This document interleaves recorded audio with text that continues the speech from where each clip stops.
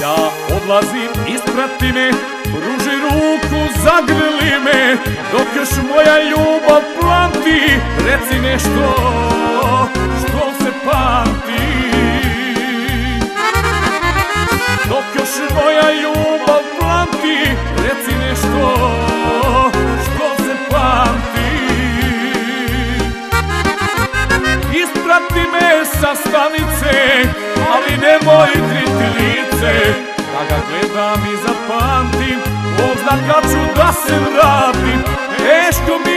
zagrli me, mahni rukom, pozdravi me.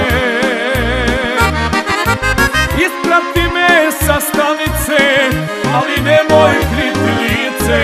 Da ga gledam i zapamtim, oznak kad ću da se vratim Teško mi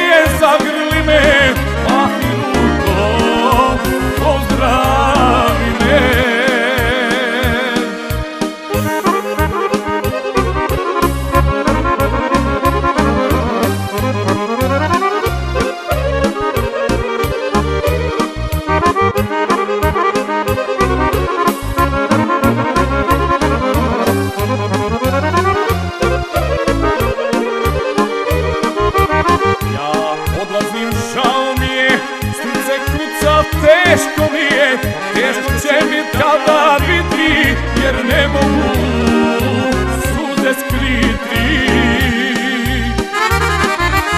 Teško će mi tada biti, jer ne mogu suze skriti. Isprati me sa stanice, ali nemoj kriti lice.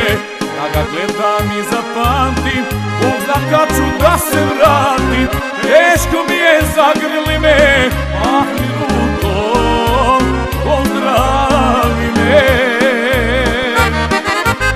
Isprati me sa stanice, ali nemoj kriti lice. Da ga gledam i zapamtim, zna kad ću da se vratim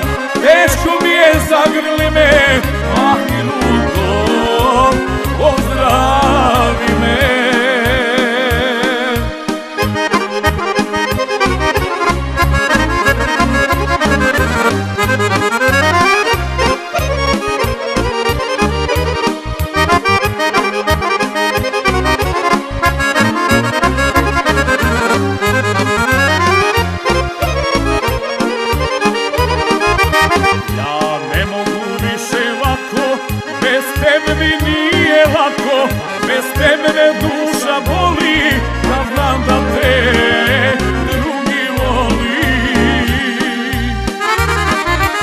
Bez tebe me duša boli, da znam da te drugi voli.